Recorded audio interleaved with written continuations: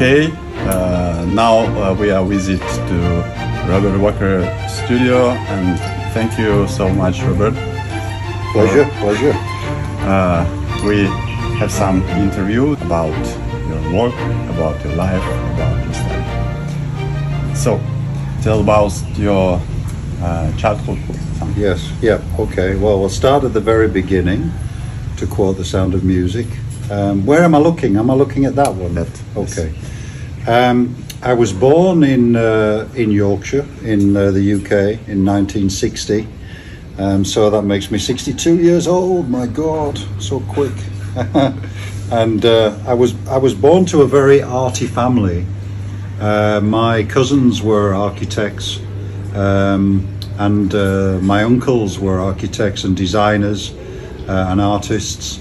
Uh, and more importantly for me, my, my grandma Gruby, who was on my uh, mother's side, who came from Halifax, was a fantastic artist. She used to um, draw for me when I was a little boy. I used to sit on her um, on her knee, and I could ask her to draw anything from elephants to crocodiles to um, aeroplanes, and she would just be able to draw them really beautifully.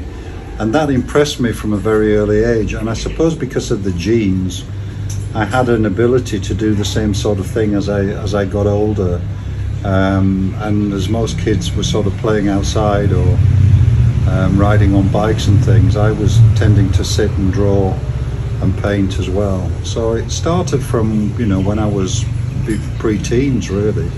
Um, and uh, at school, it developed into the art rooms uh, with paintings and um, with drawings uh, on the timetable. But also, when other people wanted to play rugby or football, I tended to creep away into the art rooms and um, and, and do art instead. And most of the teachers realised that that's what I felt comfortable with, so they let me. Um, I started having my first exhibition when I was 15 years old and uh, I, I did pottery and painting. And in fact, my first sale uh, at the Goosewell Gallery in Menston in West Yorkshire um, was to David Hockney's mum, Mm-hmm. who bought uh, a, a piece of sort of fungal type um, ceramics that I did uh, for David for a present. Uh, I suppose when you're a famous artist and your mum's trying to buy you something, they try and think of something a bit different. So she very gracefully got one of my pieces that was sent off to America because David was in um, New York, I think, at that time. So, and that put that aside because it's quite interesting the connection later on uh, with him. Uh, and uh, by the time I got to the end of school, I knew I wanted to be an artist. And uh, so I went to uh, Bradford Art College, again where David had been a student for a year, one year. And then after the year, I uh, applied to Bristol University Art College, um, well, the Art College first, to do a three-year course in uh, ceramics and printmaking. Uh, and uh, so I completed that, and I got a first-class honours degree with that because I worked like stink the whole time and really appreciated the everything was so fantastic and new and uh, available. You know, the materials were available.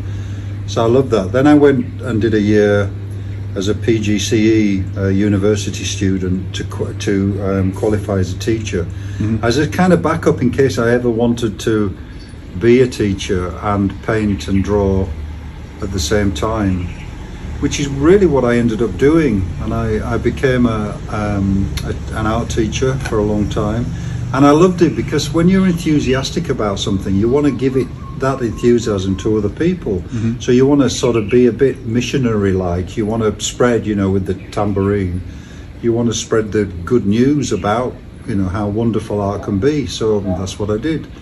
And I really enjoyed it. But the problem with teaching is that it tends to take from you rather than, you know, you're giving a lot.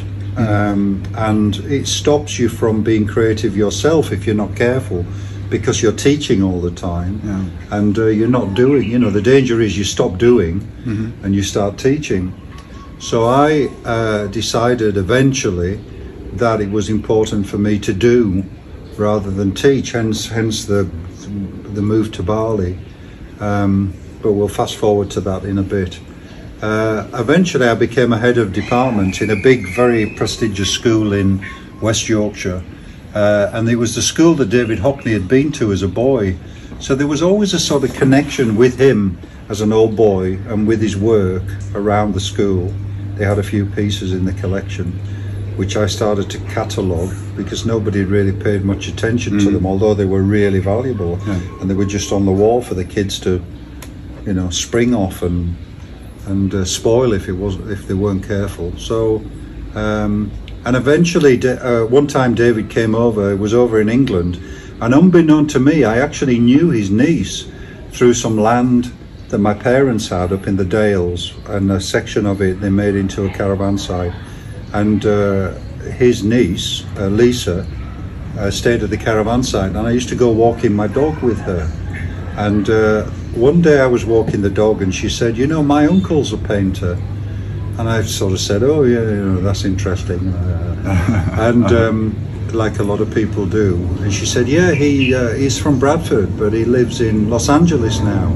And the more she said, the more I started to make connections. That wait a minute, you know, he's in Los Angeles, and she said, "Yeah, he's quite famous." And I said, What's your second name, Lisa? Because I only knew her as Lisa.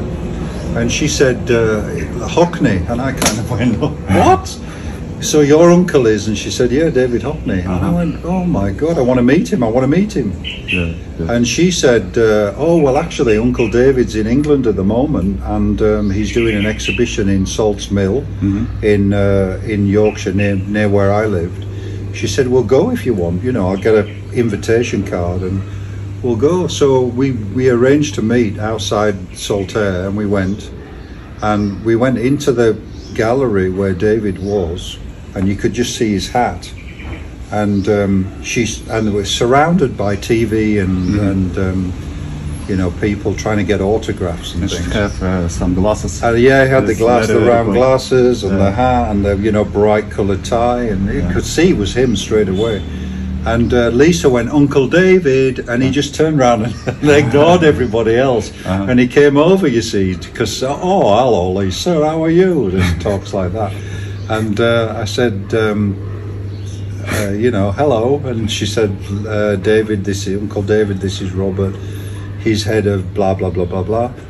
And uh, we kind of got talking and we hit it off straight away. It was really nice. And, you know, and I was really, I was trying not to be too.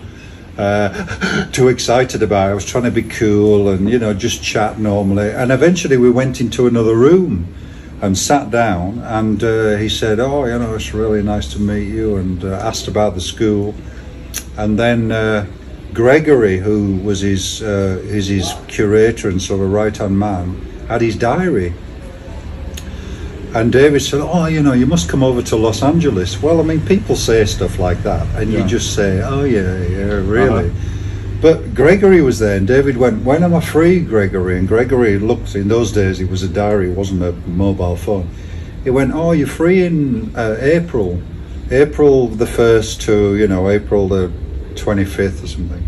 So David said, "Oh, put Robert in there and come to Los Angeles." So he like, Oh. invited me immediately. Yeah. So I thought, oh my God! So I went home that night and I thought, I'm going to go and see Hockney, you know, in Los Angeles, Mm-hmm. in his house, in his swimming pool. And I, I couldn't believe it.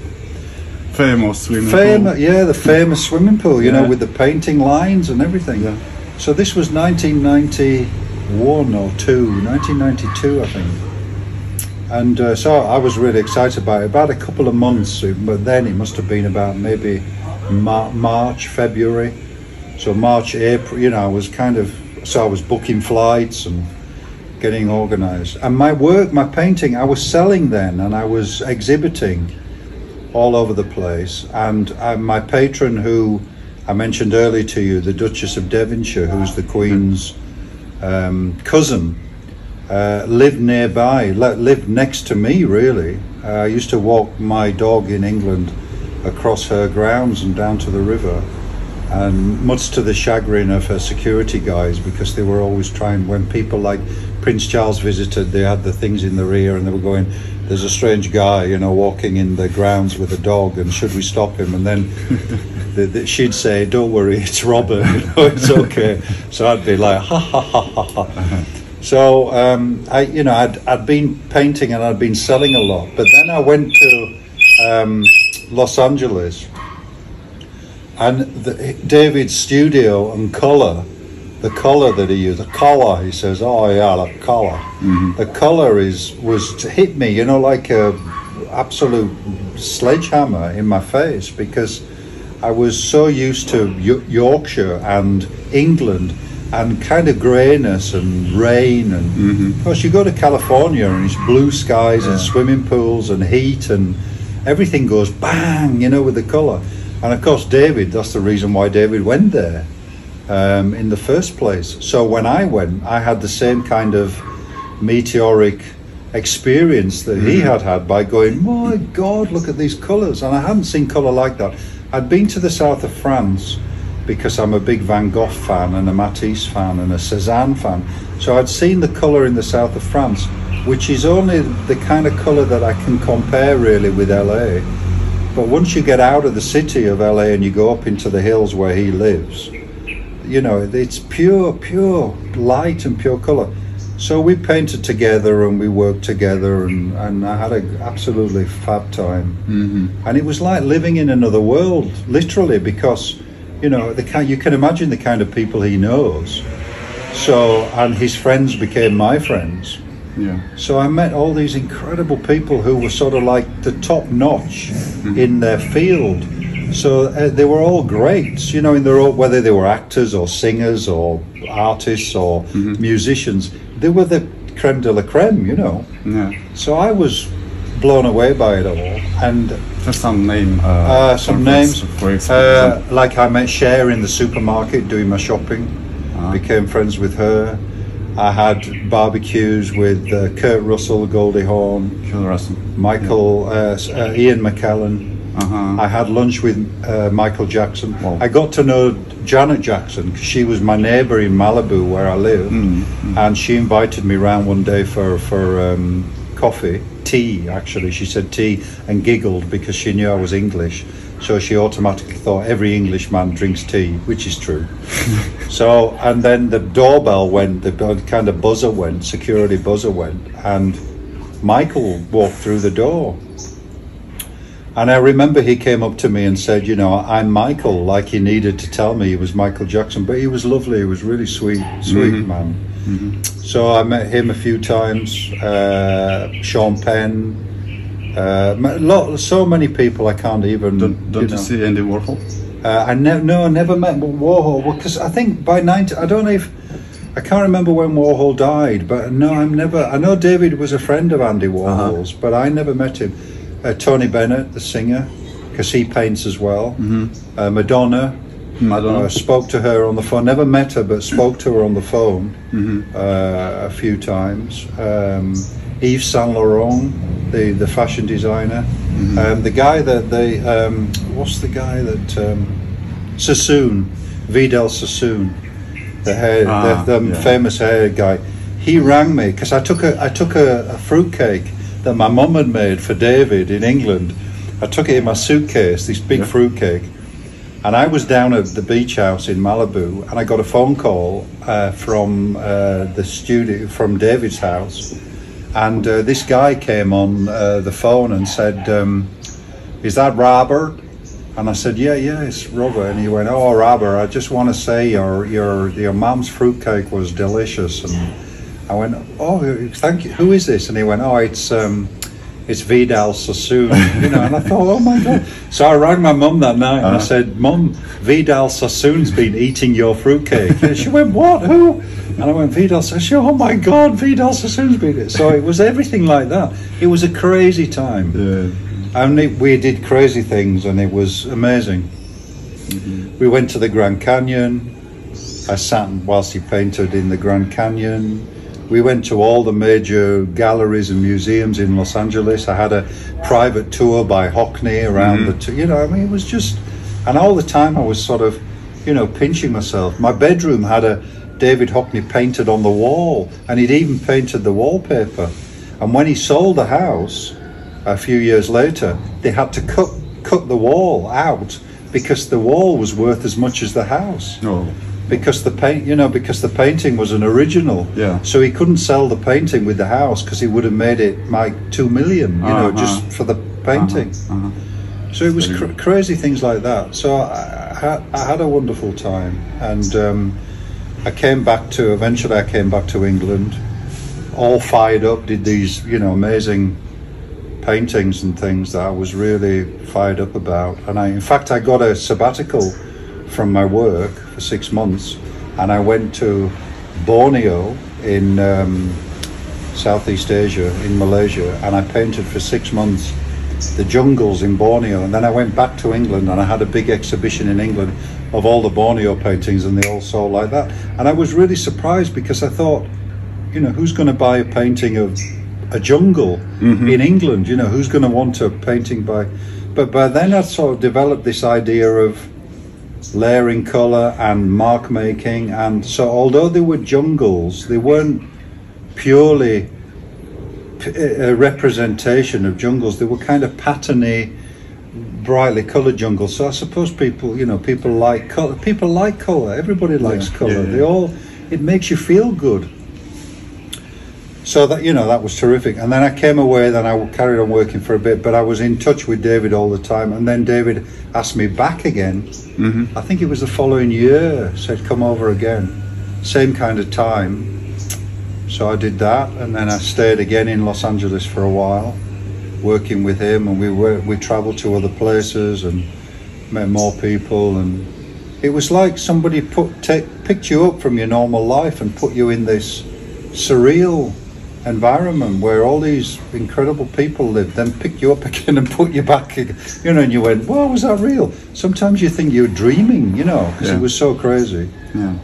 And then at the same time, I was working with a project in uh, England about a Soil Hill Pottery Trust, an old pottery that I was trying to save in in West Yorkshire, and and uh, I became friends with um, David Attenborough uh, through that. So David Attenborough, because David is a massive collector of ceramics, and uh, he he. Uh, so I used to meet him at the auctions because at one time I was a dealer and I was buying ceramics for different people. Then I met, so I met David because of that, and then we kind of became friends. You know, uh, for enough for him to go hi, Robert, and for me to go. Uh, uh, and then uh, I, I had a really good friend called Lucie Rie, Dame Lucie Rie, who was an amazing potter in London, and I. Uh, she was a mutual friend. David knew Lucie, so it's how this kind of thing works. You know, one person knows somebody who knows somebody who knows somebody, so you become sort of part of a group without really realizing you are. You know, Yeah. because of these these amazing connections that you have. Uh-huh. Uh, and like, I'll give you an example of that. W- way before this happened, uh, my first partner was called Michel de Rothschild, one of the de Rothschild family that I didn't know initially when I met him, but then later I did. And uh, he was a really good friend of Princess Diana. And uh, one time he was asking me all these questions. I'd gone down to London to see him. I used to go down most weekends to London, meet him in the National Gallery, spend the weekend, maybe go back up to Yorkshire on the sort of Monday morning or something. And one time he was asking all these questions about when were you born, who's your family, you know, what's your full address. And I said, this is a bit weird, you know, why are you asking me all these questions? And he said, Mm-hmm. he said, don't, No don't. He said, don't ask. But he said, it's a good. There's a good reason. And he was vetting me for security. I didn't realize it, but he was. The security had to check me out. You know.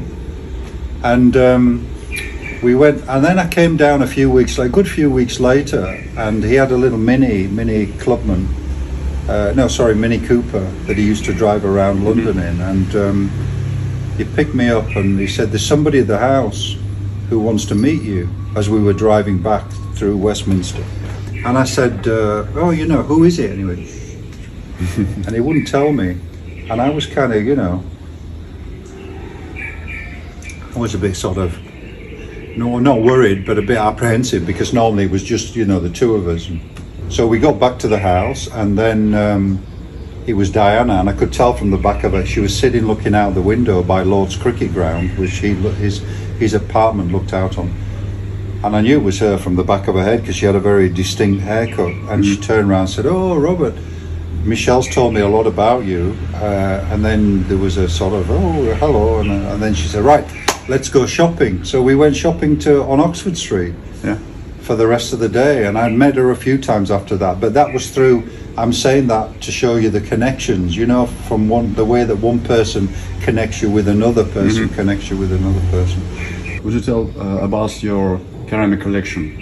yes Yeah. yeah How, yeah how much money, items, and so on? Yeah, sure, sure. I collected I collected contemporary ceramics first, and I dealt in contemporary ceramics because I used to buy Lucie Rie's work and resell it to people that wanted investments and things. So I had a big collection in England of contemporary ceramics, but I sold that when I came to Southeast Asia, and then when I came here, because of the um, the ge- the geography of uh, Southeast Asia and the trade routes from from China to um, Java and Sumatra and uh, Malacca, you know, the Straits of Malacca and everything. I Golden, started, Golden Whale. yeah, yeah, yes. then the Golden Triangle Yeah. and the Silk routes. Uh-huh. So I, I started to read up about that because you tend to sort of read up about places where you're going to live. Um, and uh, I started to read about the shipwrecks and the the how dangerous it was for these old ships to navigate around these different continents. Well, not continents, but different islands and things. So consequently, there were a lot of shipwrecks and shipwrecks that were carrying cargo Yeah. From the sort of early Yuan, Tang, Song uh, dynasties, Ming dynasties, I got really excited about that because you can actually, you know, you can pick something up and hold it and you know that it's 900 years old. And not only that it's 900 years old, but probably for 895 years it's been under the ocean, sitting in a coral reef somewhere, which I was just blown away by. So I started collecting a lot, and you've seen already, and you can show Yeah, yeah. in the house, you know, crazy. beautiful. It's a collector that, well, uh, this is one here. As a collection, you get, you know, collectors famously get um, carried away by their collections and they get really excited by it. And that's what I did, really. And f- luckily, I know a lot of um, dealers in Java who can get me things, you know, really interesting things from the divers. Mm-hmm. So you know, they come up and then I get them. So they're they're they're they're not through lots of different agents. Mm-hmm. They're from the, the ocean basically mm-hmm. through one hand to me. So that's amazing. So I, you know, so that's how that started. Was the um, you know with the with the collecting of that. That's amazing. Yes. It's, and and it, you know you never even see things like that in England. uh-huh. You know you don't even go into shops that have it. You know you where would you buy a Ming Dynasty bowl? You know I wouldn't know. You know I wouldn't even know how to get them. Whereas here they kind of throw them at you. You know they not not literally they don't throw them. You know they can say this is a Ming Dynasty 1610 Ming bowl, and I, I just think, oh my god, you know. So that's been my another passion whilst I've been here. I tend to get, as I suppose, as an individual, I tend to get focused on things, and I give it my all. You know, once I get into something, I just can't stop. Whether it's eating a bar of chocolate or painting a painting or collecting, I kind of like get a real bug about it, which is good, really. You know, if it doesn't go stupid. So that's and that's how I paint. I paint. Um, I paint in in uh, batches. Uh, I paint. All of a sudden, I go berserk, and then I get really exhausted and tired, and then I stop for a bit, and then it, I can feel it, you know, welling up inside me again, Uh-huh. And then I go again.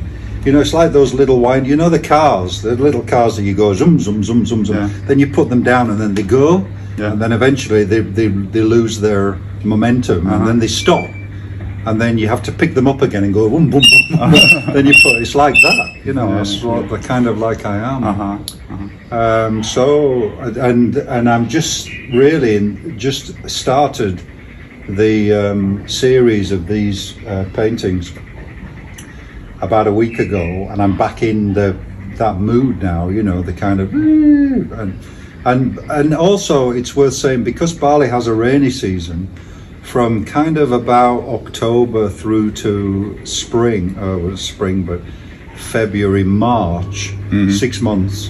Um, it prevents me from doing a lot of painting in that time because the weather and the humidity stops the paint from drying.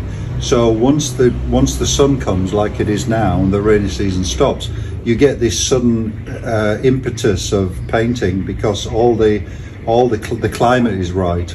So everything is right at this time of the year now through you know through to after Christmas, January, February, I'll be painting a lot because it's right. It's the right time to Right. paint. You know, for this for the actual country as well for the seasons. Well, it's not really. Well, the, it is a season because it's a rainy season or a dry season, and now we're in the dry season, so it's perfect. You know. So um, yeah, so that's you know kind of where I am really. I came to Bali about eight years ago. Before that, I was in Malaysia for about five years. I left England quite despondent, really, with England, with the weather and the politics, and the.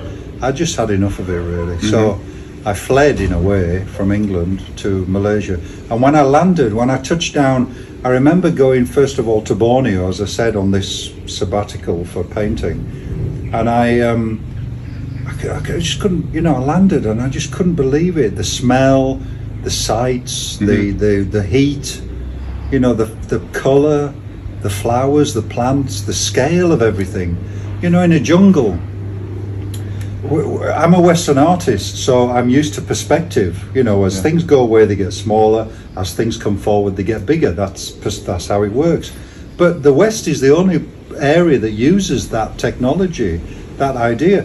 China, the Chinese and the and Southeast Asians, they don't use perspective. Mm-hmm. They and, and in the early days, Byzantine art and early Renaissance art, they didn't use perspective. It's a relatively new thing.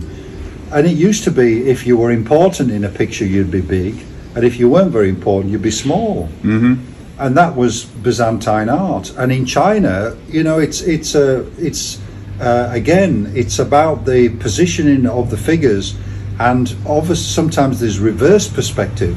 So it's about giving you as much information as possible in the picture, not everything having to be by vanishing point and um, her, you know, horizon and then the vanishing point, then all these lines going to. it. It's a very Western thing. So I've kind of broken away from that again. I'm not interested in that. I'm more interested in the mark making and the Im- and the composition for its own sake, rather than for uh, a mathematical theory, you know, of making a, p- a painting in perspective. And that's what amazed me with the jungle. In the jungle, you can get little leaves in the foreground and whopping great big leaves that people Yeah. shelter under when it rains in the background. So the big and small doesn't mean anything. Yeah. So all you see is this kind of big, like a textile woven pattern mm-hmm. of leaves and structure and raindrops and little animals and so that made me that blew me away you know that made me think That's- wow that's fantastic Yeah, that's broken- So- broken, yeah you break it's just. Yeah. you don't need that Yeah, yeah. so that was really exciting. So, you know, the the the um, the actual way of living here, the life, the pace of life, the heat. As you get older, you know, you it's good to have heat because everything starts to ache a bit. And, um, so that uh, you know, the people are beautiful. I, I paint the people a lot. Uh, old ladies, you've seen my old lady. You know, I love old lady. Just the wrinkles and. The, Yeah. everything about them I love, you know, and the, but people are just really, really beautiful. You don't get that in England, or if you do, they know they're beautiful, and then they become, you know, not very nice people. So here suits me really well, and uh, you know, this is where I plan to stay really, and, uh, and my my work is themed around my interests. You know, the big paintings are about my collecting, about my fish in the pond, um, about the flowers and trees around me, and the temples and the landscape. And I go for a walk every morning. I'm I'm always on the beach by sunrise. You know, and as the sun comes up and the light comes out, and you hear the waves, and you know, it couldn't be better. Everything is just perfect here. I wish I'd done it, you know, ten years earlier, but you know, sometimes you can't. When you want to do things, you can't. And it's usually to do with finances and things. But now I'm lucky I can. So I, you know, so I went for it really. Um, so that's kind of my story, really.